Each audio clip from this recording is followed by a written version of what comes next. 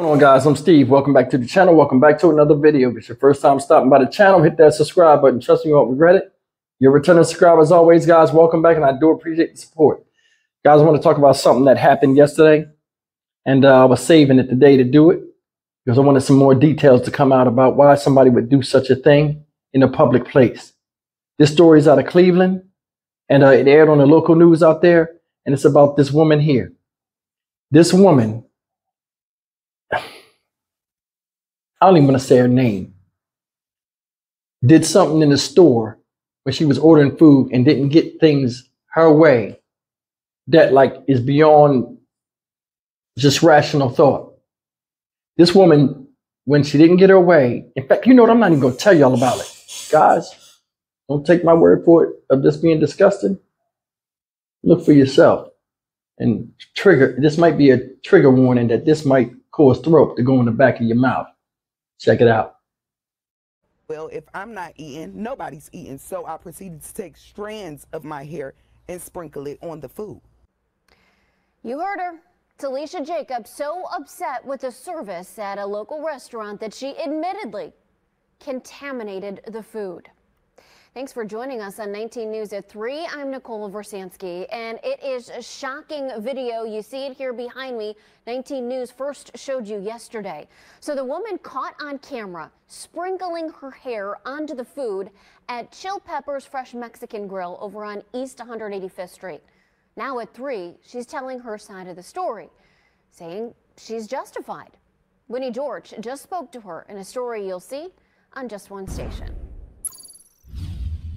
I was wrong for that, but it was provoked. I don't want to look like I'm just some mean person or an irate customer because that's not it. Take a look at your screen. That's Talisha Jacobs putting her hair all over the food at Chili Pepper's Fresh Mexican Grill.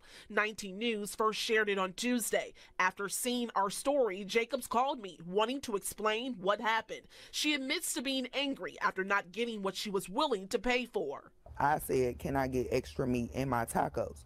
I said, "I'll pay the extra for the extra scoop, which was two dollars and fifty cent, and she could separate it between my four tacos."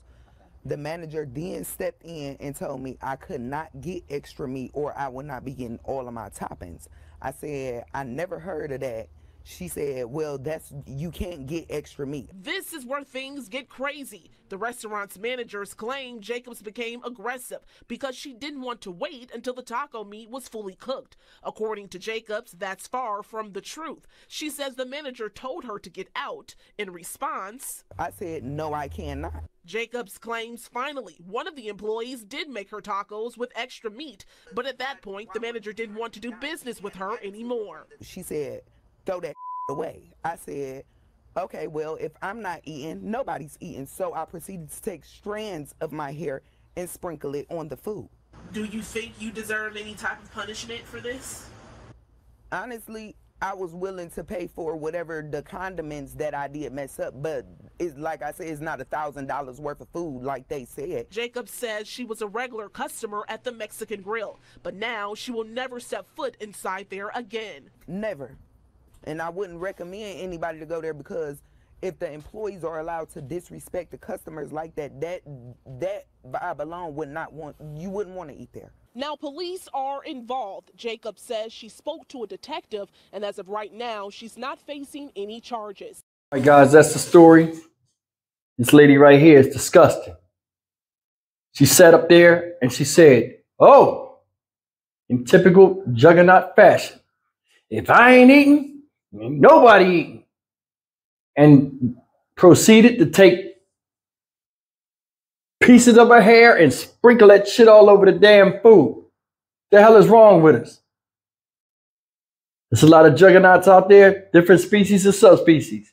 This right here is just one of them. Species name Juggernautus unsanitarius.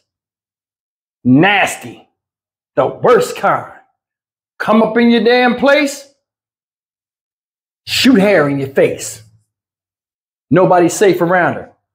If anybody ever finds hair in that food at that Mexican restaurant, chances are it's remnants of this tragedy right here. You want in the kitchen Not all the way in the kitchen, just halfway in the kitchen. This count as the kitchen too, I guess. Pulled it out, duck lipping, sprinkling like it's pepper or salt. Give your own special ninja seasoning in a damn Mexican restaurant. Know what I wish? I wish they had locked that door and them essays or whoever it was jumped over there and shoved jalapenos in your ass after they beat your butt naked. They need to come out with a rule when anytime this type of stuff come out, call it the Stevie rule. I'll take credit for it. When you go in the store, they got every right to beat your ass butt naked and run you out the store like my man when his titties was jumping in that other story I did trying to steal the jewelry, the fat dude. This is unacceptable. Businesses have policies. Food uh, service places that serve food have certain ounces that they give you. Anything outside of that, you got to pay for. Now, I did understand when she said, Hey, I'll pay for it. Some stores don't have that policy, especially if they're privately owned. I don't know if this place right here was a national franchise or whatever, or just something local that's family owned. Their rules are different than Subway and all these other places.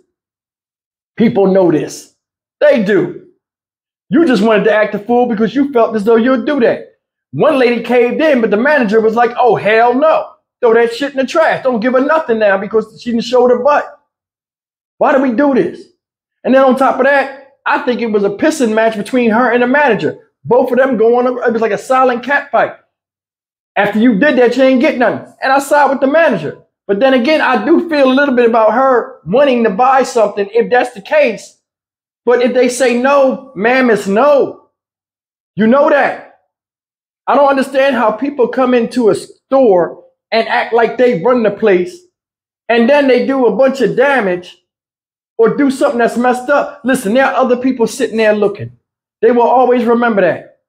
They probably lost a lot of customers that day. She talking about, I won't be back, and I suggest anybody else not to go back neither. Baby, after you did that shit, I don't think anybody else will step foot in there, knowing that there's ninja hair all over the damn place because you wanted to act a certain way because you want something your way. It ain't fucking Burger King. It was a Mexican joint. Take your tacos with the less meat on them, shut the fuck up, and go out the door, or, or don't buy them at all. It ain't the only taco joint out there. I don't understand this. I don't. We are silly people sometimes.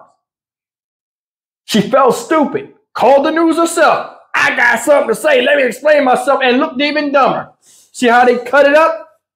If I ain't eating, nobody eating. Mm. Dumb shit. Dumb shit. Edge is already gone. Just pulling out more. Suicidal. Don't care nothing about beauty. Don't care nothing about being feminine, ladylike, nothing. I'm doing, I'm gonna do what I want to do, and that's it. Big disconnect between us, man. For real.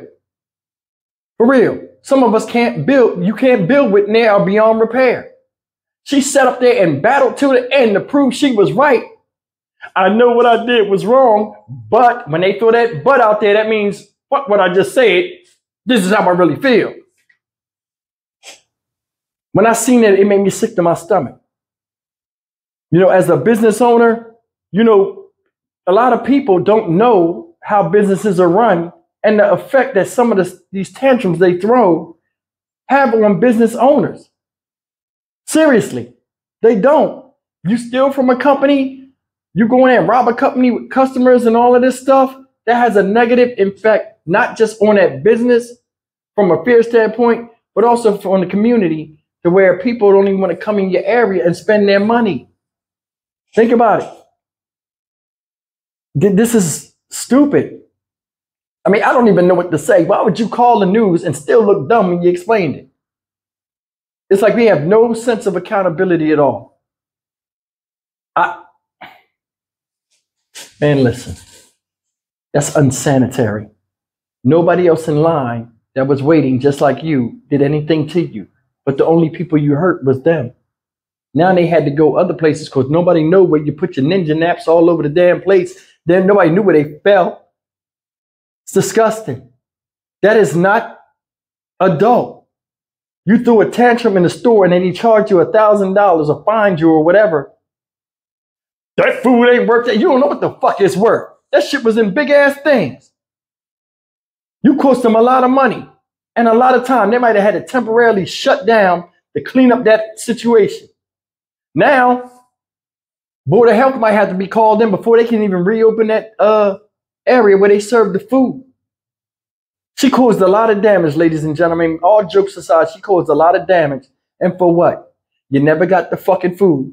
And now you're saying you're not coming back there when you could have walked out the door in the first place. You are a valued customer if you come there every time. The way you acted made them say, you know what? Fuck you and the times you came in here. You can go and kick rocks and count them as you go down the block. Pissed you off. All of a sudden, pew, pew, pew, pew, pew, pew. You buckshotting all over the goddamn food. Man, tell me in the comment section, man, what y'all think? I mean, as a business owner, that's messed up. That's the wrong thing to do. Sometimes when things don't go your way and you think you're in the right, report them to the Better Business Bureau. Or better yet, don't come back and write a good report on social media. They do work. Trust me. You would have got a lot more than just extra meat if you did that. And I'm sure they would apologize and you would have had it your way. I'm Stock Market Steve for the Dynamic Reason channel. As always, like, comment, share, and subscribe. Hell, the bonnet's starting to look good in restaurants now. Shit. See you in the next video. Y'all be good.